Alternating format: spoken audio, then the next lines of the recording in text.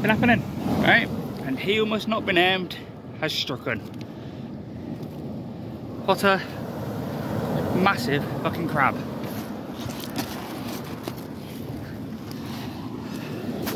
There, right guys, after that crab, which was quite ironic really,